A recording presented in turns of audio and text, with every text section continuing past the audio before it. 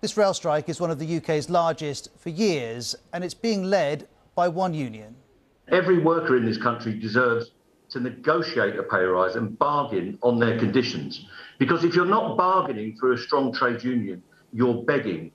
The RMT is bargaining on behalf of thousands of workers. They're employed by the companies that operate the trains and by Network Rail, which maintains the infrastructure. And the RMT says it's time for a pay rise. It wants to be clear this isn't about train drivers. Most of them belong to a different union. This, it says, is for signallers, cleaners, and many others, members who are not high earners. For example, train guards earn between 23 and 36,000 pounds track maintenance workers between 16 and 34,000. To put that in context, the median pay for all employees in the UK was close to £26,000 last year. And the RMT says its members deserve more. Our members haven't had a pay rise for up to three years.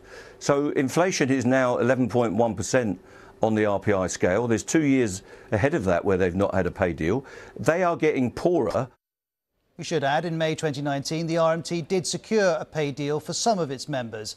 As for inflation, it is high. But Boris Johnson says that's a reason to show restraint.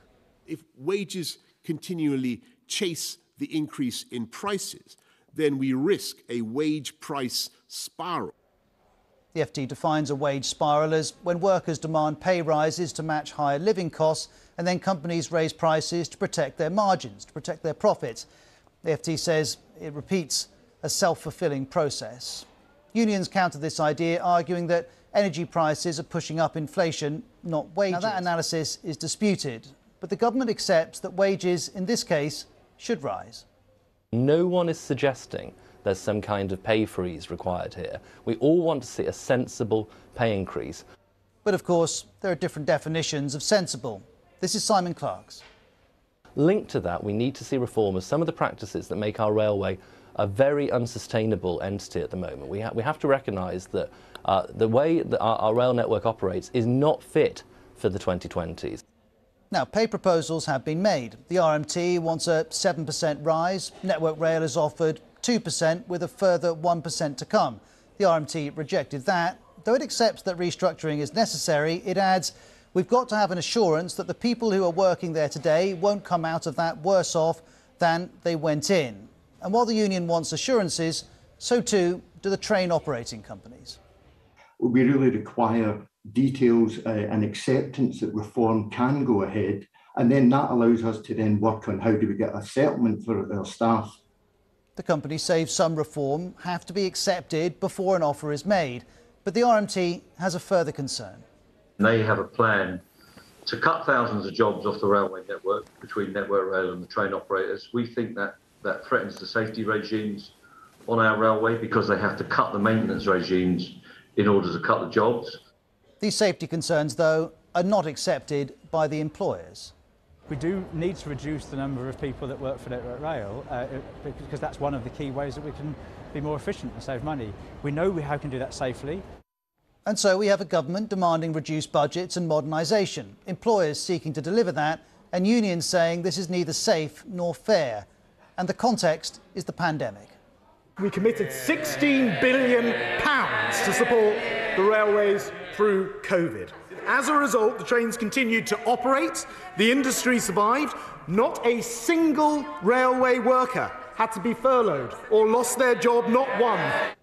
It's true, the government did support the railways through the pandemic. The question is, what should happen now, especially because COVID has changed how we travel. Passenger numbers are down by a fifth, in part because of working from home. Fewer journeys mean... Make it more productive and get the industry of taxpayer-funded life support. To which the RMT argues that COVID's become a smokescreen for job cuts that were planned all along. And though the RMT and the government are trading statements in public, they're not actually directly negotiating. The union is talking to the employers, though it says in reality the Treasury in particular is calling the shots. And the opposition Labour Party says this. Not only are they boycotting the talks, they're actually hobbling them, and therefore that's why it is imperative that they step in.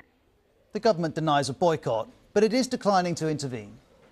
It's not, it's not the case that we're going to sit round uh, the table directly with the trade unions because that's not how uh, the government ought to be behaving here. We're not the legal employer. To Labour's leader, though, this is a political ploy.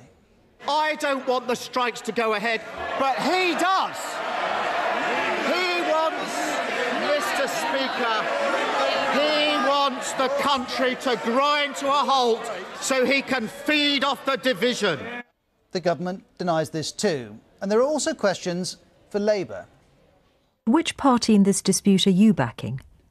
Well, we're backing a deal. We want to see the dispute avoided, and it can be.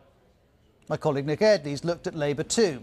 Is it backing the striking rail workers, Nick asks. There's been no definite answer.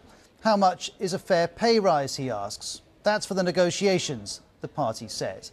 And in these negotiations, there are profound tests for the government and its stated commitment to a high wage economy, for Labour and its relationship with the unions, for the rail employers and their efforts to run a business with changing travel habits, and for the union and the leverage it has to serve its members.